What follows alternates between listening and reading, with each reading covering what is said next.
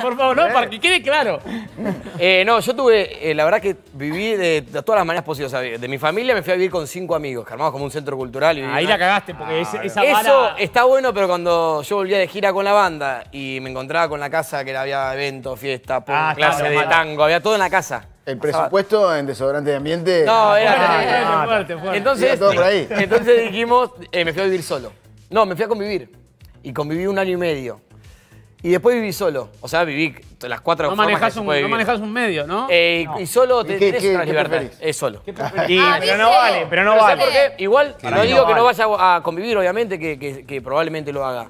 Pero convivir implica, eh, y estoy de acuerdo en esto que decís vos, y no sé si es un paso para adelante en cualquier momento. No es como que, che, si la relación llegó hasta acá, debe ser el siguiente Claro, paso convivir. claro, Sino que es algo que tiene que decantar y tiene que darse Bueno, naturalmente, sí. ser sí, orgánico, porque sí. donde uno lo impone, El problema es ahí el es debe. el problema. El problema es el debe, el, que- el hay que. Eh, Exacto. amoldémoslas y total podemos hacerla. El problema para mí, o, lo- o la- el desafío, o lo difícil es encontrar a alguien Claro. con quien eh, funcionás. Congeniar Sí, en todo. porque- Que hagas porque- equipo, o sea, que hagas seas- equipo, que, puede, que te haga florecer y vos Total, al otro. y Sí, que- porque también cuando vos estás con alguien, si, ¿qué pasa si el otro siente la necesidad de y vos no sentís esa misma Y necesidad? no, A se- eso- y no se tiene que dar. O no es el momento. No, no. Está bien, pero es como una cosa que. Es la que uno vida, los chicos, dos- es la vida. Eh, mi amor, ¿querés ir a cenar al Marte? No, pero vamos, sí, pero vamos, un día sí, pero no. Eh, o sea, todo No, siempre, siempre hay una negociación. Claro. siempre no, se resigna a Sí, algo. pero, Mirar un poco. sí, pero perdón, yo eh, volviendo a lo que decía, eh, no es que al no, no, no tenerlo en cuenta como un paso hacia adelante,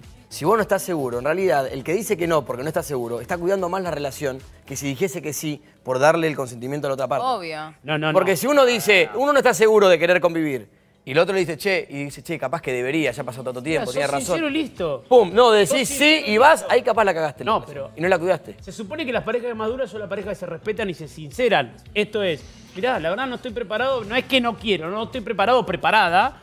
Nos vemos en tres meses. Creo que igual Inconvivencia plantea un montón de cuestiones que todos cuando vemos decís, ¿viste? Eh, ¿va por ahí o no? Y un poco sí, un poco es, es, eh, cuando reencuentran, cada uno se reencuentra con los espacios y que empiezan a tener. eh, a no joder tampoco al otro. Sí. como, no sé, mi personaje, por ejemplo, es, es cocinero y le gusta cocinar y probar recetas y hay cocciones largas. Y al personaje de Laura no. Y Laura, el personaje de Laura es, es- es- es psicoanalista, entonces se atiende y tiene una casa chica, la cocina integrada como al living, entonces Ah. no me llenes de olor el, al consultorio. Excelente.